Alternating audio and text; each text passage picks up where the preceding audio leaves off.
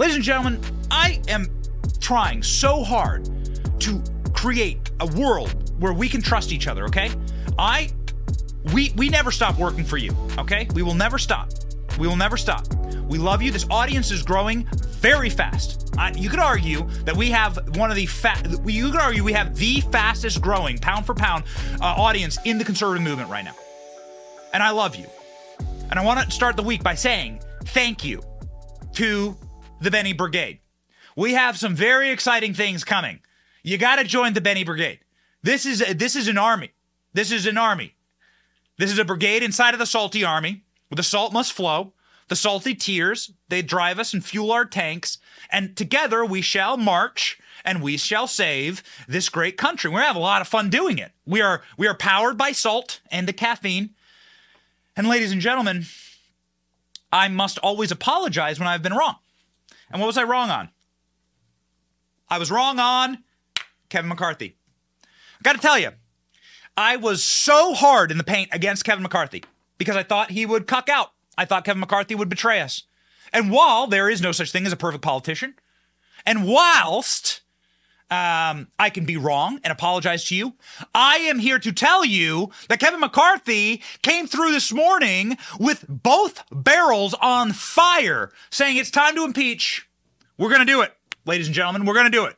And for that, I tell you, the Benny Brigade, that, um, you know what? Maybe I misjudged Kevin. Hot, he's been doing great. He's been doing great. Here we go, ladies and gentlemen. Let's chop some wood. Let's start with Kevin McCarthy's tweet here. Okay? Kevin McCarthy tweeted this weekend. I said, Whoa, this ripped my face off, this tweet. He tweeted this weekend uh, an absolute flamethrower. Let's get to the facts, he said, quoting the IRS whistleblower Gary Shapley, testifying that the U.S. attorney in charge of the Hunter Biden investigation lied to Congress, said that he could bring all the charges. He was stopped by Merrick Garland. He was halted by the Department of Justice. He wanted to charge Hunter Biden in California and in D.C. with massive tax crimes. They said Hunter didn't pay taxes on $1 million. It was actually nearly $10 million. They said that Hunter Biden is just going to get off with a slap on the wrist with this gun charge. Do you know that's against the rules of the Department of Justice? That hundreds of thousands of people have faced massive time in prison and gone to prison for what Hunter Biden did, of course. And they're not even, they, they didn't even touch the real crimes that we're going to get into here. Real crimes like Joe Biden having a secret phone line. Do you know this? Oh, baby. Did you know that Joe Biden had a secret phone line to do all of his dirty business dealings on? Oh, yeah, we're going to get there.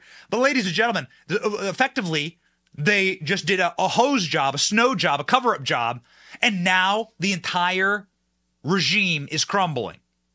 Now, something we have been right about is that there's going to come a point where they're going to flip a switch on Joe Biden. They're going to flip a switch and they're going to get rid of the guy. And that time is right now. It's happening, ladies and gentlemen. Let's get let's get again to the news. Kevin McCarthy tweeted to this revelation, we need to get to the facts. That includes reconciling these clear disparities. U.S. Attorney David Weiss must provide answers to the House Judiciary Committee if the whistleblower's allegations are c- true then that'll be part of a larger impeachment inquiry into Merrick Garland. Whoa! So he sent that out. This was seen by millions of people. And it's like, whoa, what do you mean impeachment inquiry? That's the first time we've heard him talk about this, Kevin McCarthy, Speaker of the House. Well, sure enough, moments ago uh, on television, Kevin McCarthy said, "Oh no, no, no, that wasn't that wasn't just a tweet. Like we already have the date planned for the impeachment hearings." Hot damn! We out here. Let's go. Salty Army. Salt must flow. Go. Miranda Devine says that Joe Biden met with his business partners 12 times, 12 different times and 12 different deals perhaps. So it's according to Rob Walker, who was in on all this stuff, good friend. He's all over, uh, all over the laptop. So will this prompt you to do a impeachment inquiry? Well, you apparently don't follow me on Twitter because yesterday I laid out very, very clearly by July 6th, because of the allegations from the IRS, because of the whistleblowers and the DOJ, are, are Garland, what he is saying and what David Weiss are saying privately are two different things. Right. And if it comes true what the IRS whistleblower is saying, we're going to start impeachment inquiries on the Attorney General. Well, Lucky for us, we have the actual tape. We have tape of Hunter Biden doing these deals. We have tapes of Joe Biden doing these deals. We have more evidence than we know what to do with. And the only way, the reason why this is smart strategically for Kevin McCarthy, the reason why this is smart strategically is because this is the way that you get the corporate press to actually cover the Biden regime's corruption. No, no, no. Hear me out here. Ladies and gentlemen, once you have impeachment inquiries, then you got to stop the entire rest of the news cycle. Doesn't matter what happens. They could come up with something. They could blow up, you know, they could do whatever, right? Like try and blow up some story here, some story there. Everyone look at the summary. Come on, look at the sub. Oh, wow. Mm-mm, not going to work. Once you launch that impeachment inquiry, once you launch that impeachment, the world must stop turning and all the cameras point inward at the impeachment hearing. And then they start laying out, they start dropping bombs, they start laying out on the table. The corruption of the Bidens, this is brilliant. This is a smart tactical move. They can begin with this piece of evidence Merrick Garland saying straight up, I will never interfere in the proceedings against the Bidens. Meanwhile, Merrick Garland under the table texting, drop all the charges, drop all the charges, quick. Hunter Biden, you owe me some Coke. Go. Hunter Biden investigation, as I said, even in my own nomination uh, um, uh, confirmation hearing, is being run by and supervised by the United States Attorney for the District of Delaware. He is in charge of that investigation. There will not be interference of any uh, uh political or improper kind. I have pledged not to interfere uh, with that investigation, and I uh, have carried through on my pledge. I have promised to ensure that he's able to carry out uh, his investigation and that he be able to run it. And if he uh, uh, needs to bring it in another jurisdiction, he will have full authority to do that. So the IRS whistleblower is saying and stating definitively that the DOJ did not allow David Weiss to bring these charges in another district, as Merrick Garland is promising. What did David Weiss try and charge?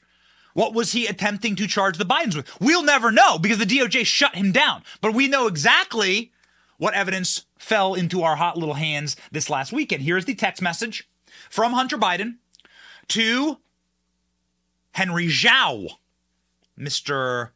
Chinese agent of the Communist Party where he effectively is talking like some type of mafia boss to this guy, saying, I will make certain that between me and the man sitting next to me, his father, Joe Biden, I'm sitting right next to my dad. Everyone misses this part because it's really important. Everyone says, I'm sitting here with my father. That's all they report. No, no, no, no. It gets worse than that. I'm going to make sure that every person that he knows and his ability to, for, and my ability to forever hold a grudge, sounds like a really nice person, uh, you will regret not following through in our directions. Guess what happened right after this?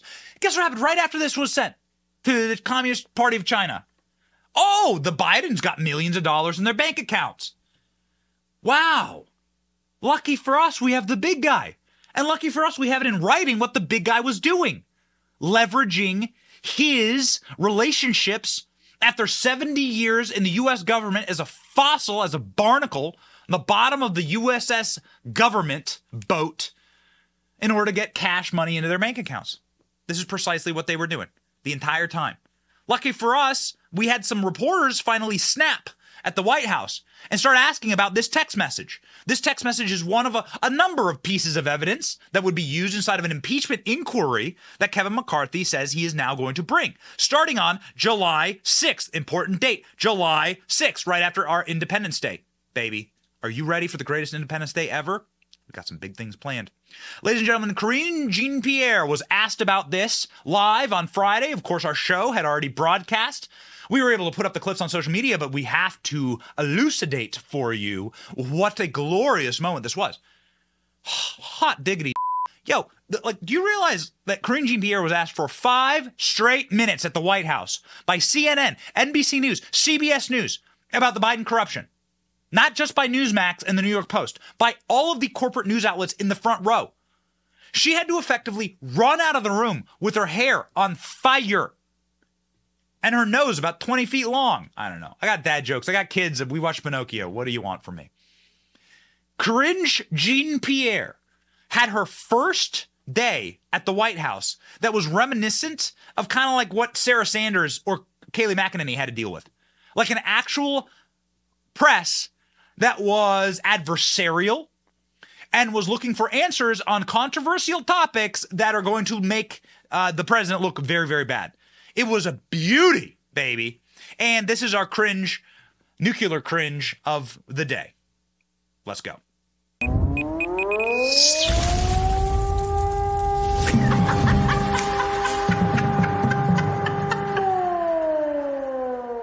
President invited his son Hunter to the state dinner last night. Um, I'm wondering if you could take us into the thinking and the decision making of why uh, the president decided to invite. I, I'm just not going to get into family discussion, personal family discussion. if Hunter Biden wasn't the president's son, would he have invited someone who had just reached a plea agreement with federal prosecutors Well, two days earlier? a couple of things. Again, that's his son.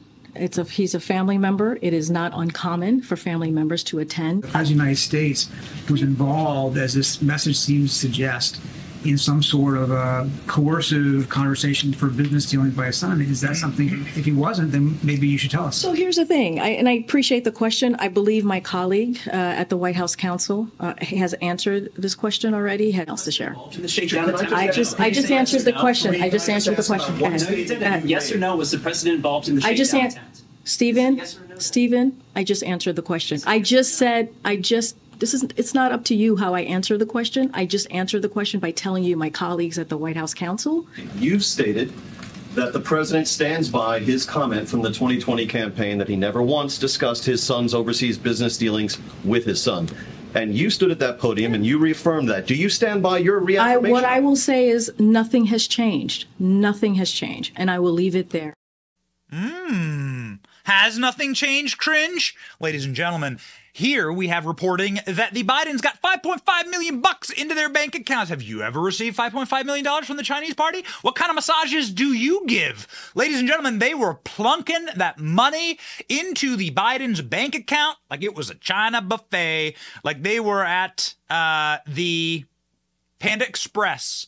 And they went through and got double helpings of General Sows, General So's, General Corruption's chicken. Senate report Biden business received $5.1 million. 10 days of Biden's WhatsApp text saying, What's up? I'm sitting next to dad. You better give us that money. Otherwise, I'm going to send Biden, I'm going to send Pop in to sniff you. How you like that, Xi Jinping? You're going to be sitting there in your Winnie the Pooh outfit, and behind you, you're going to feel a presence. And then you're going to get a little you don't want that. You don't want that smoke from my dad. That's what Hunter Biden effectively saying, and the Chinese paid $5.1 million in payments from the Biden Chinese business partner Henry Zhao within 10 days of the text. There's, so, there, ladies and gentlemen, OJ Simpson sitting there being like, man, I left less evidence at the crime scene than the Bidens. Henry Zhao, influential in forming a Chinese investment fund, had deep ties to the Chinese intelligence regime, according to Breitbart News. Senior contributor and Government Accountability Institute President Peter Schweizer, and we'll get more from Peter in just a moment. In 2017, Henry Zhao worked with the Chinese energy conglomerate CEFC. This was the Chinese energy conglomerate that the Bidens were trying to sell American natural gas to. The Bidens wanted to rip our energy out of our out of the ground and then sell it to the communist Chinese. Okay? So they wanted to strip mine America. This is the easiest way to see the Bidens, okay? Parasites. They are parasitical, all right? Like a mosquito or like a leech or a tick.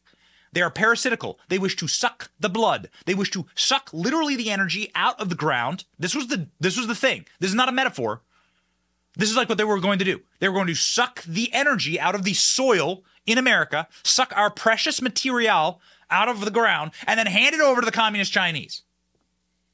Little simps, little Chinese simps, this family. And then they were going to get paid for that. They're going to get paid for it. We literally we have the Hunter Biden voicemail. What up, Hunter Biden voicemail? Why not? Why not play the Hunter Biden voicemail? We have him saying he's going to create the largest LNG port in the world and hand it over to the communist Chinese. We have Hunter Biden on tape saying it, so uh, might as well, right? Might as well. The screen chapter, the screen. So I just wanted to give you a little bit of background as to what's actually going on here. So this Henry Zhao is the guy who's supposed to pay the Bidens in order to get American natural gas and the and, and the energy from America. These people are parasites. They are ticks that have burrowed in to our culture and are ripping out the value that exists inside of this nation. Ladies and gentlemen, they are blackmailing and using politics in order to blackmail, using their political office in order to blackmail people into giving them cash money. Jesse Watters made this point. We thought it was really, really well stated. Jesse, go. If everybody that did drugs didn't pay their taxes, we'd have no revenue. That is so true. Drugs. That's not an excuse. This entire table. The feds are never going to crack open the laptop as long as Joe Biden's president.